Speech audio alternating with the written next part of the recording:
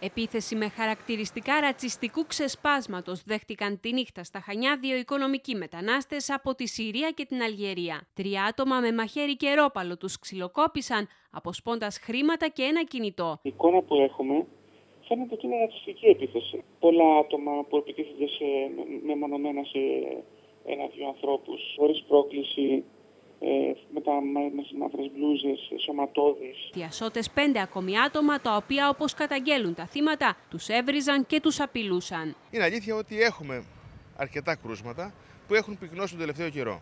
Η Ελλάδα χαρακτηρίζει μεμονωμένα τα κρούσματα βίας σε βάρος αλλοδαπών που έχουν καταγραφεί μέχρι τώρα στην Κρήτη. Ωστόσο, η συγκεκριμένη καταγγελία εξετάζεται με ιδιαίτερη προσοχή από την Υποδιεύθυνση Ασφαλείας Χανίων, με βάση και τις οδηγίες που έχουν δοθεί για την συγκροτημένη πλέον αντιμετώπιση κρουσμάτων ρατσιστικής βίας.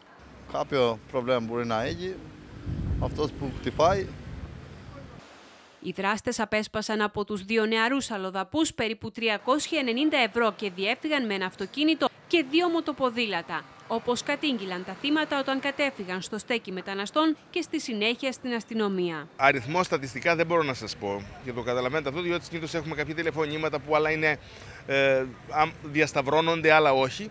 Ρατσισμός και ξενοφοβία επιχειρούν να φωλιάσουν στην ελληνική κοινωνία. Σύμφωνα με πληροφορίες, τα τελευταία 24 ώρα τουλάχιστον ένα παρόμοιο περιστατικό έχει αναφερθεί στο στέκι μεταναστών από αλλοδαπό που χρειάστηκε ιατρική περίθαλψη. Περίθαλψαν άλλον ένα, ο οποίος ε, χτύπησε στο, στο θώρακα είναι περιστατικά και κατά το παρελθόν που έχουμε καταδικάσει και έχουμε, που έχουμε σταθεί σε όλους αυτούς τους ανθρώπους. Η ανησυχητική κλιμάκωση της ρατσιστικής βίας στην Ελλάδα οδήγησε στη σύσταση εξειδικευμένων υπηρεσιών της ελληνικής αστυνομίας σε ολόκληρη τη χώρα, την οποία ανακοίνωσε τις προηγούμενες ημέρες ο Υπουργός Δημοσίας Τάξης Νικόλαος Δένδιας. Δικαιολογούνται από μια άποψη από την έξαρση που έχει ο κόσμος από φαινόμενα ε, παραβατική συμπεριφορά μεταναστών, αλλά αυτό δεν φτάνει έτσι ώστε να στρεφόμαστε αυτοδικώντας κατά δικαίων και αδίκων.